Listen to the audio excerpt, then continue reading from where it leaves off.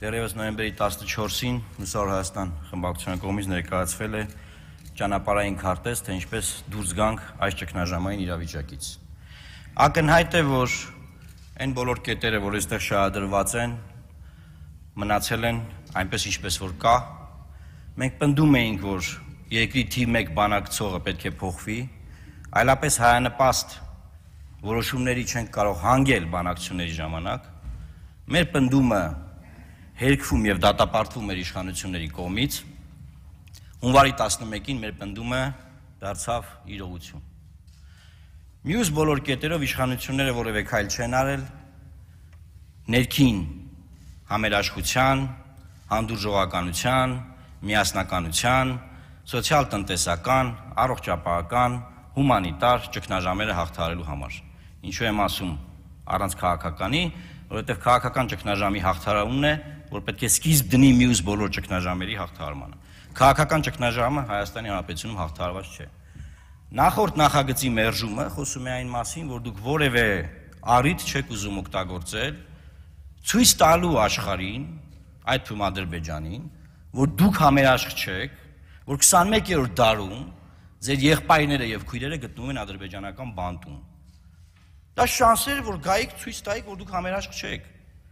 Բայց դուք տարատեսակ նկատառումներով մերժում եք այդ նախագիծ, ասում եք, բայց եկեք այլ տարբերակներ փնտրենք բան։ Տարբերակը փնտրած է, ըստ ընթացակարգեր եկել է հասելա տեղ։ Հիմա նոր բան նախաձեռնենք, կտևա էլի եւս 1 ամիս։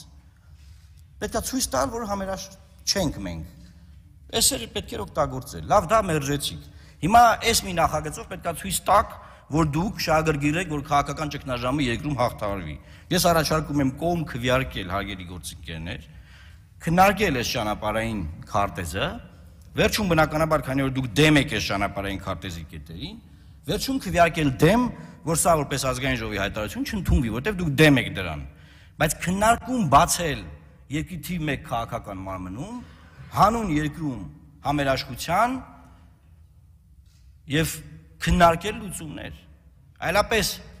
սա ինձ համար ինդիկատորներ են, նախորդ մերժումը եւ այս մերժումը, որ մերժելու եք հիմա, որը մերժվել է պետայրավական հանձնաժողովում, ես նույն առաջարկով եմ հանդես եկել, որ դուք ոչ մի կերպ դասեր չեք քաղել տեղի ունեցածից։ Այսինքն դուք շարունակում եք նույն ձևով լրացնել ընդդիմությանը,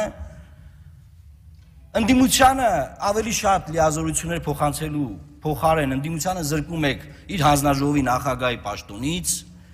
երբ որ 1/3 հանձնաժողովները պետք է լինի ընդդիմության ղեկավարության տակ։ Այսինքն դուք ավելի վատն եք գնալով դառնում։ Փոխանակ դասեր քաղելով դառնայիք ավելի լավը։ Մենք ունենք լուրջ խնդիր, հայերի գործընկերներ։ Ես ձեզ առաջարկում եմ կողմ քվյարկել մտնի օրակարգ, սկսենք քննարկել երկրում ճգնաժամից դուրս գալու ճանապարհները։ Չէ որ երբ որ ցույցեր են տեղի ունենում եւ աննազանդության ակցիաներ, դուք պնդում եք, որ այ պետքա գալ եւ սահմանադրական խողովակներով քննարկել։ Այս բերել ենք սահմանադրական խողովակ, որը խորհրդարանն է։ Եթե գերի կարծում ենք, որ գերիների հարցը պետք է խորհրդարանում յագումար նիստում քննարկվի եւ մենք համոզված ենք, որ այդ քննարկումը այդ գործընթացին կնպաստի, կոժանդակի չի վնասի։ Եկեք հենց այդ հարցով հravirենք նիստ հravirենք, արտահերտ նիստ հravirենք, ինչ որ ֆորմատով, ով է մեր ձեռքերը կապել, որ մենք մի հատ նոյեմբերից բերած նախագիծ, որը կապ չունի այսօրվա օրակարգի հետ, որ որը նաև, այսպես ենք, արժեք չունի ինքը որպես նախագիծ, դրան դրական եզրակացություն տանք, որ այլ հարց քննարկենք, շեղվենք, այսինքն A ասենք, B անենք։ Չէ, մենք կարող ենք པարզ, եթե ցանկանում են գերիների հարցը քննարկել եւ համոզված ենք, որ դա կնպաստի գերիների վերադարձին, եկեք քննարկենք։ Բայց համոզված ենք, որ դա նպաստելու է։